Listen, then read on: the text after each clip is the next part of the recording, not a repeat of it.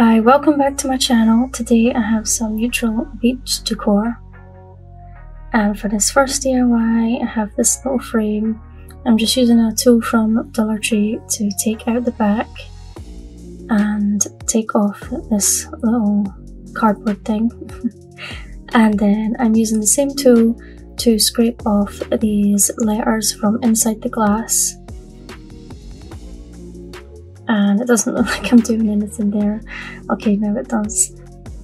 So it took me uh, like about five minutes to scrape this off and then I cleaned it with some alcohol.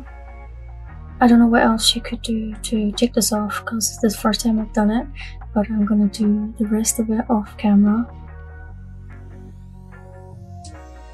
And then I have some of the Dollar Tree wallpaper and I'm just gonna measure it uh, with the backing and then I'm going to cut it out with some scissors. And I had painted this and I decided I didn't like it and I decided to use the wallpaper instead. So I just stick it down and then I hot glue it back into the frame. I gave it another wee clean first.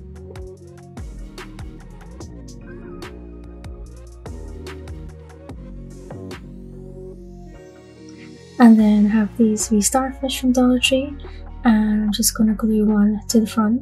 I thought it was to fit inside but it didn't so I'm just to glue it to the front with some hot glue and that's it. I'm just removing any excess hot glue and I just thought this was really cute and simple, quick and easy DIY. This next DIY I have this vase and some of the new nautical rope that I found. And I'm only showing two here but I ended up using three of these because I was only going to use one and then I didn't like it so I put two on. I thought oh I'm just going to put all of them on. So I just hot glue at the bottom then I wrap it round and then I hot glue it at the end. And then I just hot glue to the next one on trying to match it up.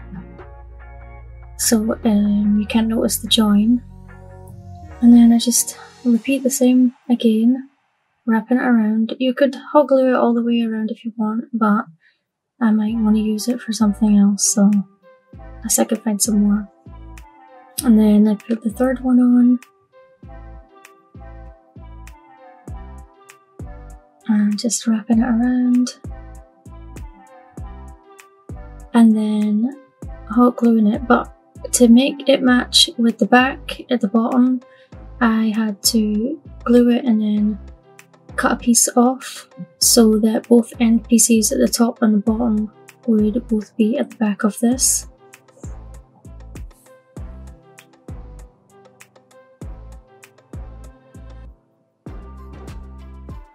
I just glued down the end and then I got lighter and I burned off all the wee hairs.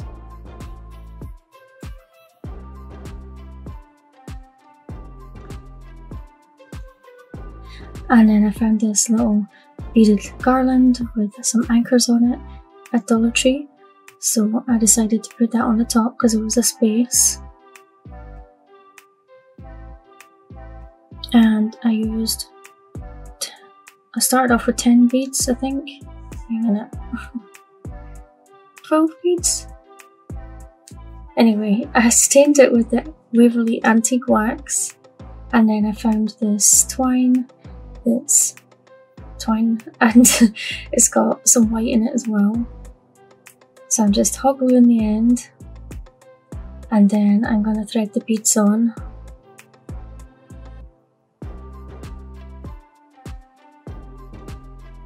and these have a big hole in them which is good. Like they go on easy. And then I just split it in half and then I glued the little anchor on underneath the twine so it covers up the wee holes at the top. And then this is when I realised I had too many beads. So I took two off and then I just tied it twice. And then I snipped off the ends. And then I decided to put another anchor to fill up this gap on the other side. And then I just hot glued the anchors in place.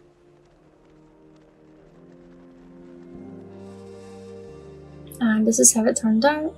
And I really love how it turned out. I love the nautical rope. I'll need to find some more so I can do some more stuff with it.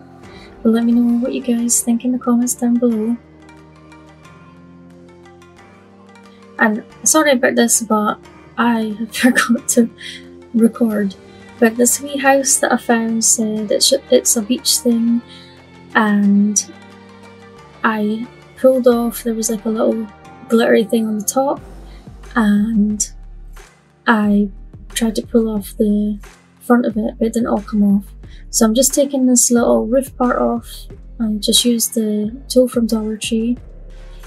And I was taking off the extra paper.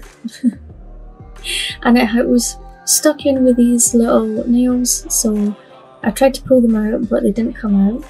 So I ended up just flattening them down I had a wee tidy up. And this is me just flattening them down with the pliers. And then I stick the sticker on.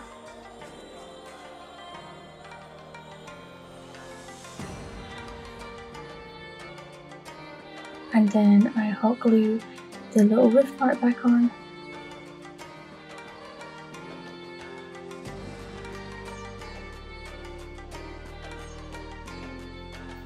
And then I take some more of this twine and I just wrapped it around a few times. And then I hot glued the ends on the back. And then I really think this boat was cute, so I decided to stain it with the Waverly Antique Wax, and then oh, I took the lighter to the little hairs, and then I just hot glued it on, but I did it underneath one piece of twine so it covered up the wee holes. And then I used one of the starfish and I just hot glued that to the top. And I think it turned out really cute. I really love the wee boat, the wee wooden boat thing.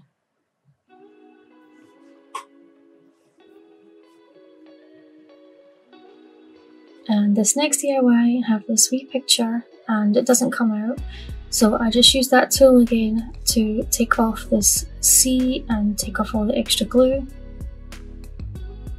and then using some of the wallpaper. I spent so much time deciding which way I wanted the wallpaper to go that I didn't realise my camera stopped recording.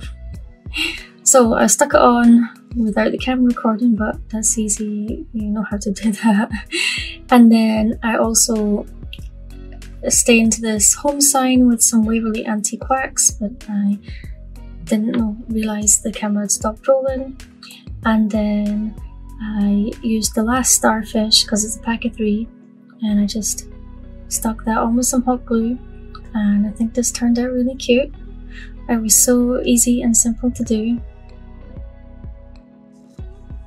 I have this wee starfish hook sign and I'm just going to use my wee screwdriver set from Dollar Tree to take the hook off the front and then I peel off this paper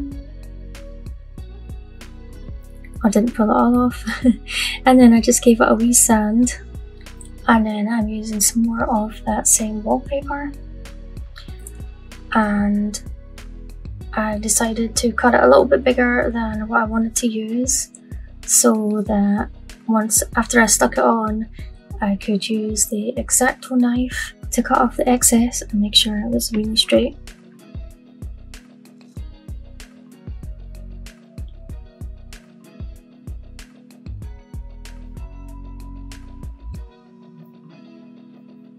and then I just used a little Cricut tool to make holes where the screws are supposed to go back in so it wouldn't rip the paper and then I'm going to use another one of these garlands and I decided that I wanted to use the boat and the anchors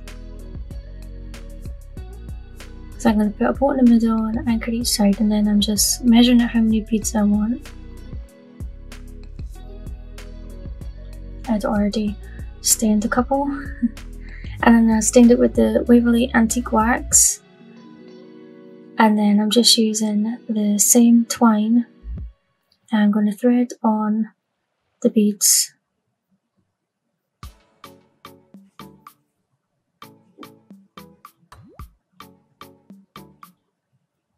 And then I'm just going to measure out where I want the pieces to go in. But then I realized that there was too many beads. So I took two off then I just hot glued the boat and the anchors underneath the twine to cover up the wee holes.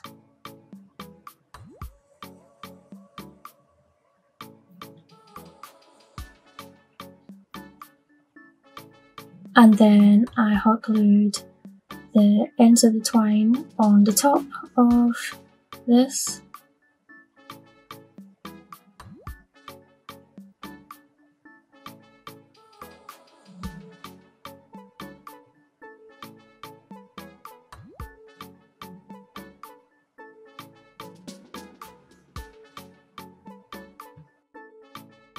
and it wasn't sitting how I wanted it to so I just took the twine off and repositioned it. And then, oh yeah, I snipped, I snipped off the ends of the twine and then I have some of the Dollar Tree nautical rope and I'm just hot gluing it around the outside. You could use the white nautical rope for this as well if you like that one better and you can always paint the beads and stuff a different colour, but I wanted to keep it all neutral. In my head, at first, I was gonna make them blue and stuff, but then I ended up going with a neutral theme because I decided to use the this wallpaper that I've had for ages, and I thought I was never going to use it. but I'm glad that I finally used it today. And then when I get to the end, I just put some painter's tape where I'm going to cut it. And then I put some hot glue on the end. And then once it's dry, I take the painter's tape off and then I just hot glue it in place. And then I took the lighter to get rid of all the wee hairs.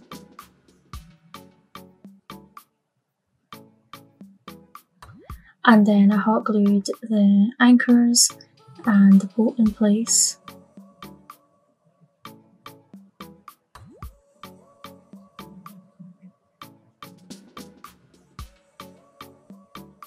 And I think this turned out so cute.